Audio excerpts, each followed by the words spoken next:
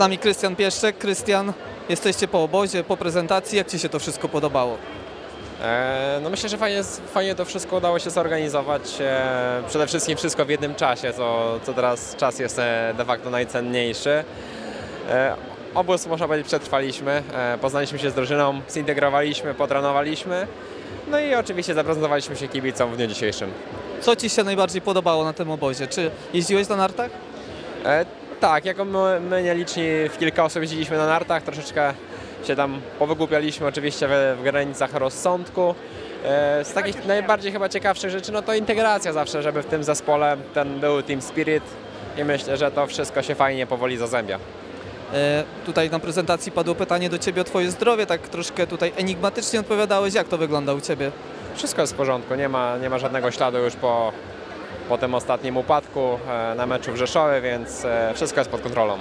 Przed nami, no wracasz można powiedzieć do pierwszej ligi po sezonie w drugiej. Nie obawiasz się tego sezonu? Jakbym miał się obawiać, to bym, nie, to bym w ogóle nie jeździł, tak? E, Sezon jak sezon. Najważniejsze to nie powielać błędów, które po prostu były i mm, spoglądam po prostu daleko w przód.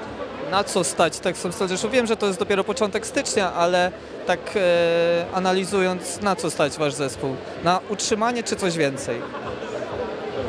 Myślę, że jak e, uda nam się połączyć e, te wszystkie ciężkie charaktery, które mamy w zespole i przede wszystkim pojechać dobre sparingi i zrozumieć się, no to myślę, że stać nas na, na bardzo dużo, bo jesteśmy przede wszystkim drużyną, którą, która jest nieobliczalna, tak? więc tak naprawdę wszystko się może wydarzyć. Jeszcze chciałem zapytać o turniej w siatkówkę, bo Paweł Piskosz mówił, że było dużo zabawy i dużo rywalizacji. Niki Pedersen tak poustawiał drużynę, żeby wygrać. Zgodzisz się z tym? To tylko zabawa, wiadomo, nikt nie chce też przegrać, każdy daje z siebie 200% nawet w takich e, formach rywalizacji.